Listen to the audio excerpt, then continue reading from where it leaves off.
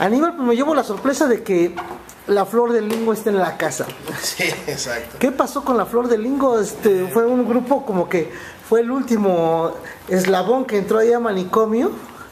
Este, digamos, de los que empezaron a hacer ruido, tuvieron fuerte presencia, pero después, ¿qué pasó con el grupo?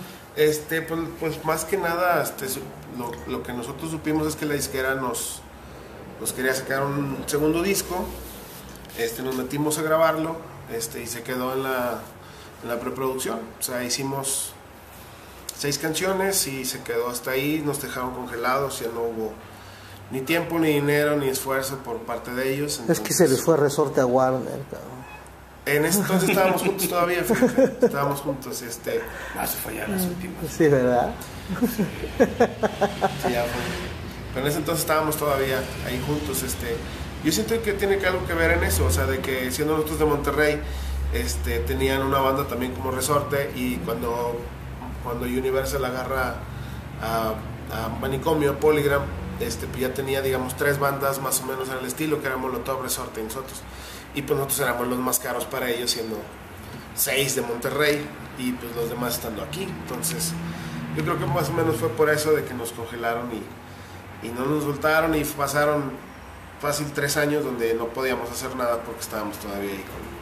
Firmados con la izquierda, y pero sin poder sacar el disco. Exacto, no podemos sacar nada. Y eso no- desanima a un músico, ¿no? Claro, o sea, y pues sin trabajo, sin poder hacer nada y este, tuvimos que dedicarnos a algunas otras cosas. O sea, y, pues, en mi caso yo tenía digo, mi, mi, este, mi carrera, pues nos pusimos a trabajar. o sea, Los demás lo mismo, dedicarse Sí. a otras actividades. Sí, sí, sí, ya después pues Mike sacó lo de Lingo Squad, este, Piochas pues ha estado produciendo desde entonces hasta ahorita, sigue produciendo hip hop, este, haciendo sus discos, sus discos, este, produciendo un chorro de bandas, ahorita anda aquí en el DF de hecho pues, haciendo algunas cosas y este, y pues echándole, ¿no? O sea, y Chava este, empezó a hacer esto de Guitar Gear, este, yo empecé ahí con él ayudándole, ¿no? Pero básicamente esto es, esto es de Chava.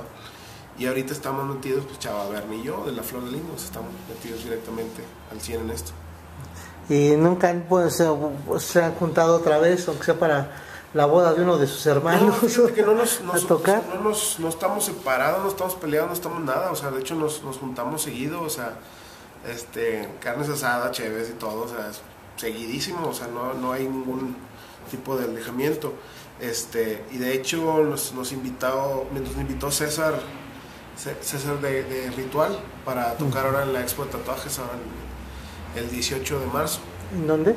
en Monterrey. Ah, mira. eh, Nos invitó, dijo, pues este, no sé, como que se acordó, le dio nostalgia o algo y nos preguntó, oye, ¿no están tocando? Dice, pues. Nosotros tocamos en las primeras cuatro o cinco expo tatuajes cuando las hacía chiquititas en el Mercado Juárez, en el, en este, donde podía, en la Pulga Mitras, en lugares donde, donde podía hacerlos, este, en el casino ferrocarrilero, etcétera. Y nosotros le- este, tocamos ahí las, los primeros, yo creo que cuatro o cinco expo tatuajes.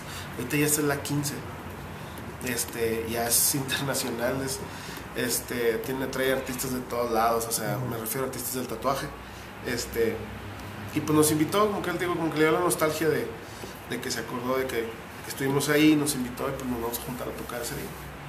Puta, qué bien, ¿no? A ver si nos acordamos. Pero bueno, ¿cómo no? sí, sí, sí.